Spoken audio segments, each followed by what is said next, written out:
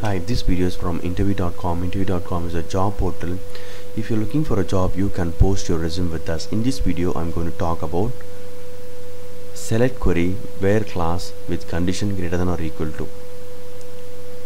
Before starting the demo, I just want to set the context. I'm using Eclipse and I'm I'm using Derby database for demo purpose and I've already installed Derby plugin in my Eclipse.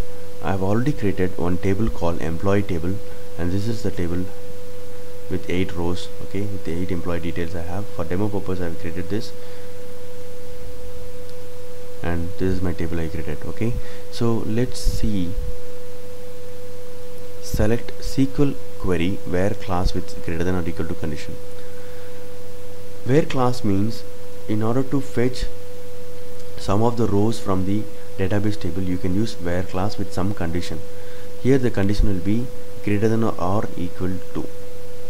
Okay? So let's see the first query. Select star. Star means all the columns.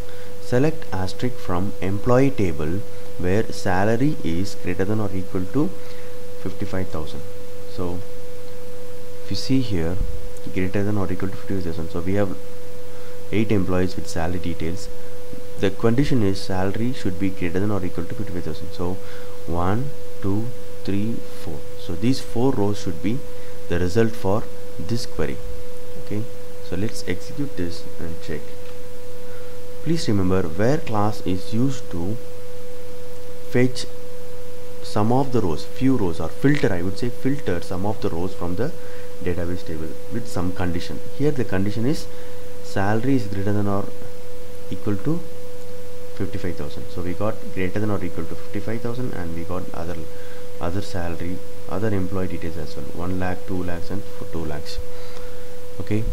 So this is the purpose of where clause with greater than symbol so let's execute the other one the next query so that we can understand more. The condition here is where clause with salary greater than or equal to 30,000 so so 30,000 means 35 1 equal to 30,000 so 1 2 3 4 5 6 so these six records should be the result for this query. Let's execute this and check how it works. Yes we have got six records. Greater than or equal to 30,000 okay? So let's go to the last query for a better understanding. So select all the columns from employee table where employee ID there is another column called employee ID I'm going to use this column for where in the where condition where clause condition. I'm saying employee class greater than or equal to 5 so these four columns we should get as a result of this query. Okay so where clause is used to filter some of the rows from the database table using some condition. Let's execute this and check.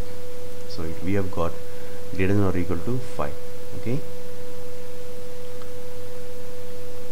Hope this video is useful. Thank you and all the best.